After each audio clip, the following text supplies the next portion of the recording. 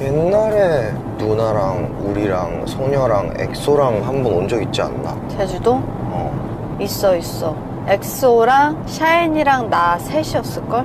그것도 기억나 나는 그때 끝나고 파티가 벼- 벌어진 거야 매니저들하고 어, 태민이랑 세훈이가 왔어 어. 그래서 싱가포르 갈때 Only One 누가 하냐고. 내가 고를 수가 없잖아. 어. 이미 태민이랑 계속 하고 있었고. 음, 야 니네가 정해 하다가 가위바위보 하더니. 가위바위보 안 돼. 그러더니 세훈이가 했어.